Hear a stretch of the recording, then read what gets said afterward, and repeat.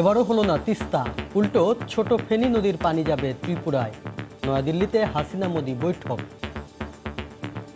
যৌথ বিবৃতিতে দুদেশের সরকার প্রধান বললেন ভারত বাংলাদেশ সম্পর্ক বিশ্বের দৃষ্টান্ত मुझे खुशी है कि हमारी आज की बातचीत से हमारे संबंधों को और भी ऊर्जा मिलेगी আমাদের মধ্যকার দ্বিপাক্ষিক সম্পর্ক বিশ্ববাসীর সম্মুখে সুপ্রতিবেশী সুলভ সম্পর্কের দৃষ্টান্ত রূপে পরিগণিত হচ্ছে। দেখছিলেন প্রধান শিরোনাম। সকালের সময়ে সঙ্গে আছি আমি শাফিন জাহিদ এবং আমি ইমতিয়াজ আহমেদ। এবার অন্যান্য শীর্ষ সংবাদ। সম্রাট ধরাছোঁয়ার বাইরে কেন? প্রশ্ন আওয়ামীপন্থী আইনজীবীদের। দলের নাম ভাঙিয়ে অঙ্গ সংগঠনগুলোর দুর্নীতির কঠোর সমালোচনা। পদ্মায় তীব্র স্রোতে পাটুরিয়া দৌলত দিয়া নৌরুটে ফেরি চলাচল ব্যাহত। পারাপারের অপেক্ষায় পাঁচ শতাধিক যানবাহন।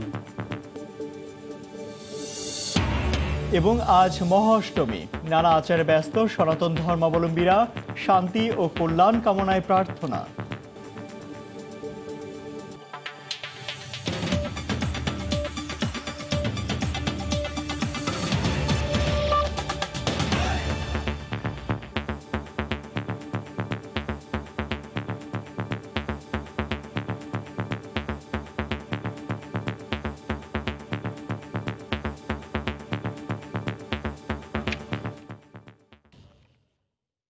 তিস্তার পানি বন্টন চুক্তির বিষয়ে কোনো অগ্রগতি ছাড়াই শেষ হলো শেখ হাসিনা, নরেন্দ্র মোদীর দ্বিপক্ষীয় বৈঠক।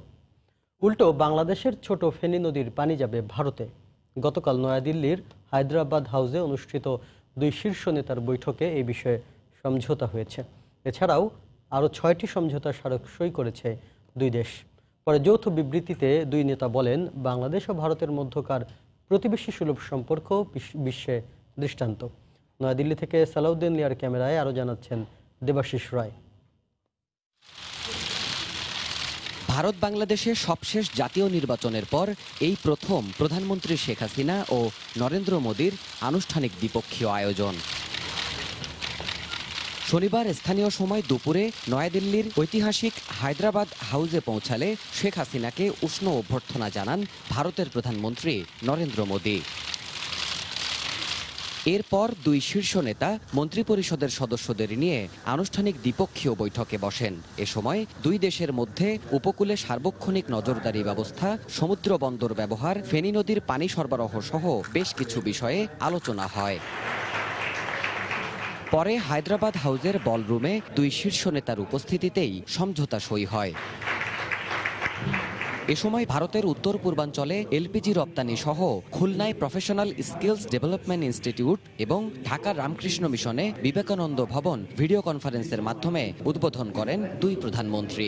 পরে যৌথ বিবৃতিতে কথা বলেন দুই নেতা। প্রধানমন্ত্রী শেখ হাসিনা জানান, আগামীতে সহযোগিতামূলক এই পারস্পরিক সম্পর্ক আরও দৃঢ় হবে। এ সকল বহুমুখী ও বহুমাত্রিক সহযোগিতার ফলে আমাদের মধ্যকার দ্বিপাক্ষিক সম্পর্ক বিশ্ববাসীর সম্মুখে সুপ্রতিবেশী সুলভ সম্পর্কের দৃষ্টান্ত রূপে পরিগণিত হচ্ছে আমি দৃঢ়ভাবে বিশ্বাস করি ভবিষ্যতেও এই সহযোগিতা অব্যাহত থাকবে জবাবে নরেন্দ্র মোদী বলেন দুই দেশের দ্বিপক্ষীয় সম্পর্ক বিশ্বে বন্ধুত্বের অনন্য নজির সৃষ্টি করেছে भारत बांग्लादेश संबंधों को दो मित्र पड़ोसी देशों के बीच सहयोग का पूरी दुनिया के लिए एक बेहतरीन उदाहरण है मुझे खुशी है कि हमारी आज की बातचीत से हमारे संबंधों को और भी ऊर्जा मिलेगी जय हिंद जय बांग्ला जय भारत बांग्ला बंधुत्व धन्यवाद বৈঠকের পর তিস্তা রোহিঙ্গা ও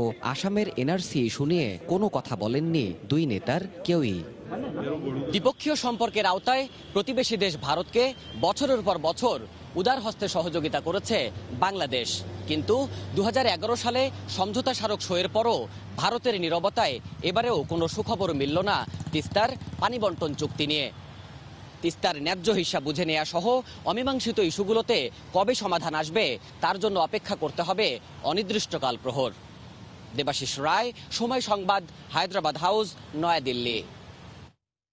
ক্ষুধা, দারিদ্র্য ও দুর্নীতি প্রতিরোধ করে বাংলাদেশের শান্তি প্রতিষ্ঠার স্বীকৃতি হিসেবে ঠাকুর পদক দেওয়া হলো প্রধানমন্ত্রী শেখ হাসিনাকে। গতকাল সন্ধ্যায় নয়াদিল্লির তাজমহল হোটেলে এই পদক তার হাতে তুলে দেওয়া হয় এশিয়াটিক সোসাইটি কলকাতার পক্ষ থেকে। এই সম্মান দেশবাসীকে উৎসর্গ করে প্রধানমন্ত্রী বলেন, ঘাত প্রতিঘাত সহ্য করেই দেশের উন্নয়নে কাজ করছেন তিনি। সালাউদ্দিন ক্যামেরায় নয়াদিল্লি থেকে দেবাশিস রায়ের আরও একটি রিপোর্ট। চার দিনের দিল্লি সফরে এসে আন্তর্জাতিক সম্মেলনে যোগদানের পাশাপাশি দ্বিপক্ষীয় আনুষ্ঠানিকতার ফাঁকে প্রধানমন্ত্রীর হাতে তুলে দেওয়া হয় the Asiatic society Tagore peace award দু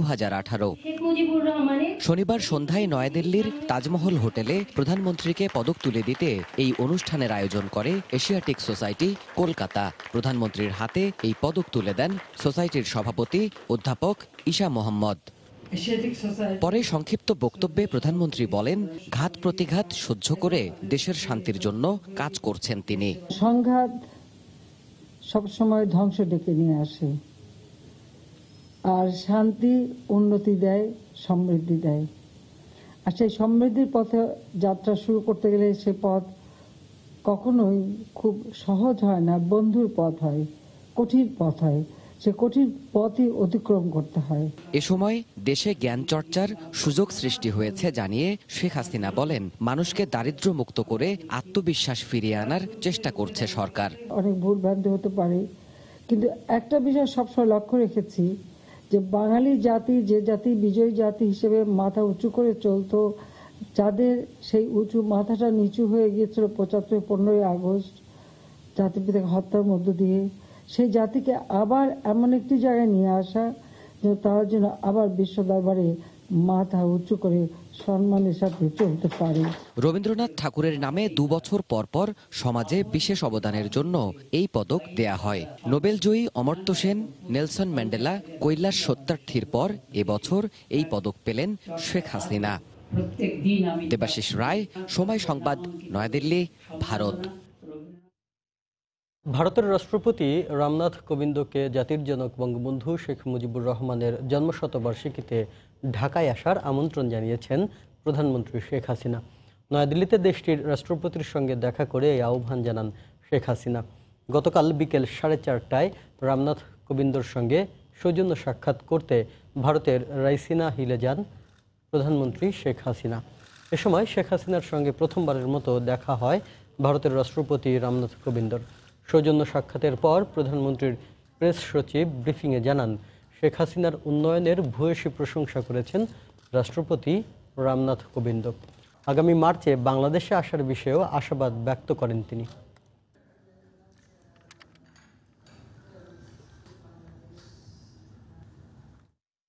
সকালের সময় আরও থাকছে। রংপুর তিন উপনির্বাচনে বেসরকারি ফলে এরশাদ পুত্র সাদ জয়ী। জনগণের আস্থার মর্যাদা দেওয়ার প্রতিশ্রুতি জাতীয় পার্টির।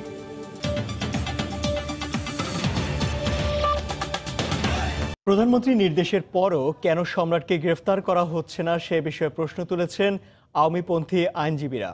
দলের নাম ভাঙিয়ে অঙ্গ সংগঠনগুলোর দুর্নীতির তীব্র সমালোচনা করেন তারা। এ সময় দুর্নীতিবাজদের যে কোনো মূল্যে আইনের আওতায় আনার আহ্বান জানানো হয়। গতকাল সকালে রাজধানী বঙ্গবন্ধু অ্যাভিনিউতে বাংলাদেশ আওয়ামী আইনজীবী পরিষদের সাধারণ সভায় বক্তব্য রাখেন তারা। মাননীয় প্রধানমন্ত্রী, তিনি নির্দেশ দেওয়ার পরেও কেন এখন পর্যন্ত সম্রাটকে আটক করা হয়নি? কেন এ নিয়ে ধূম্রজাল সৃষ্টি করা হচ্ছে? তাকে বাঁচানোর জন্য তারা ষড়যন্ত্র করছে, পায়তারা করছে? এগুলো আমাদেরকে দেখতে হবে। বেসিক ব্যাংকে ডুবিয়েছে আব্দুল হাই বাচ্চু। আজকে কেন, আজ পর্যন্ত কেন দুর্নীতি দমন কমিশন তার বিরুদ্ধে মামলা করেনি আটক করেনি? প্রশ্ন জাগে সিটি কর্পোরেশনের এই ব্যর্থতা কেন? মশা মারার অর্থ তাদের পকেটে গেছে? তাদের পকেটে যায়?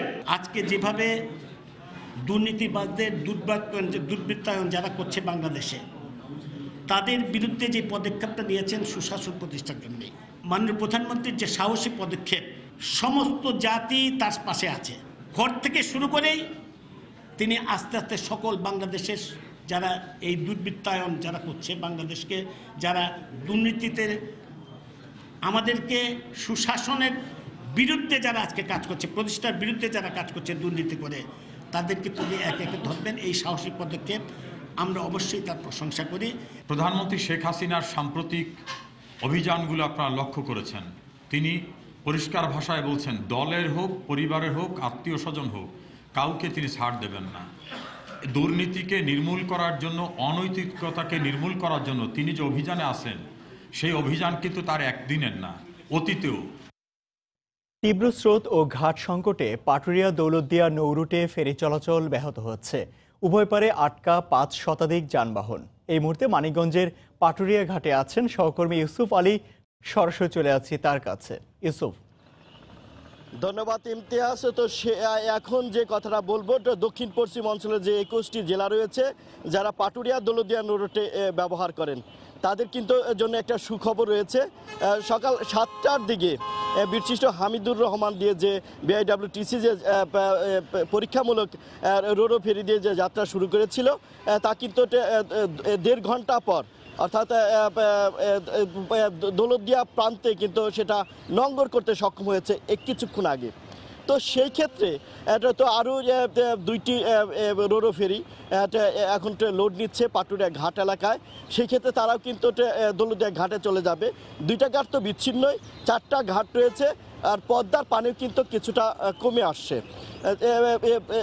যার জন্য স্রোতও কিন্তু কিছুটা কম আসছে বলে বিআইডব্লিউটিসি আমাকে সর্বশেষ জানিয়েছে, সেই ক্ষেত্রে এই মুহূর্তে যেটা পাটুরিয়া দৌলতদিয়া নোটের যে ষোলোটি ফেরি রয়েছে, অর্থাৎ নয়টি রোরো পাঁচটি ইউটিলিটি এবং দুইটি কেটাইপ এবং এখন এই মুহূর্তে সেক্ষেত্রে তিনটি, চারটি চারটি ইউটিলিটি এবং তিনটি কিন্তু রোরো ফেরি চলাচল করছে। এই ছিল আমার কাছে সর্বশেষ খবর ইমতিয়াজ। দর্শক পাটুরিয়া ঘাট থেকে সেখানকার অবস্থা জানাচ্ছিলেন সহকর্মী ইউসুফ আলী। যশোরের বেনাপোল স্থলবন্দর দিয়ে তৃতীয় দফায় আরও পঁয়তাল্লিশ মেট্রিক টন ইলিশ ভারতে রফতানি করা হয়েছে। গতকাল রাত দশটার দিকে কাস্টমস ও বন্দরের আনুষ্ঠানিকতা শেষে দশটি ট্রাকে করে এই ইলিশ রফতানি করা হয়। এ নিয়ে তৃতীয় দফায় এ নিয়ে তিন দফায় একশো ছাব্বিশ মেট্রিক টন ইলিশ ভারতে রফতানি করা হলো। বাকি তিনশো চুয়াত্তর মেট্রিক টন ইলিশ আগামী দশই অক্টোবরের মধ্যে রফতানি করা হবে বলে জানিয়েছেন আমদানিকারক প্রতিষ্ঠানের প্রতিনিধি। শারদীয় দুর্গাপূজা উপলক্ষে ভারতের পশ্চিমবঙ্গে পাঁচশো মেট্রিক টন ইলিশ রফতানির অনুমোদন দেয় বাংলাদেশ সরকার। রফতানিকৃত প্রতি কেজি ইলিশের দাম ধরা হয়েছে ছয় ডলার, অর্থাৎ পাঁচশো দশ টাকা করে। সকালের সময়ের শীর্ষ সংবাদগুলো জানিয়ে দিচ্ছি আরেকবার। এবারও হলো না তিস্তা উল্টো ছোট ফেনী নদীর পানি যাবে ত্রিপুরায়। নয়াদিল্লিতে হাসিনা মোদী বৈঠক যৌথ বিবৃতিতে দু নেতা বললেন ভারত বাংলাদেশ সম্পর্ক বিশ্বে দৃষ্টান্ত। সম্রাট ধরা ছোঁয়ার বাইরে কেন? প্রশ্ন আওয়ামীপন্থী আইনজীবীদের। দলের নাম ভাঙিয়ে অঙ্গ সংগঠনগুলোর দুর্নীতির কঠোর সমালোচনা। এবং আজ মহাষ্টমী নানা আচারে ব্যস্ত সনাতন ধর্মাবলম্বীরা শান্তি ও কল্যাণ কামনায় প্রার্থনা।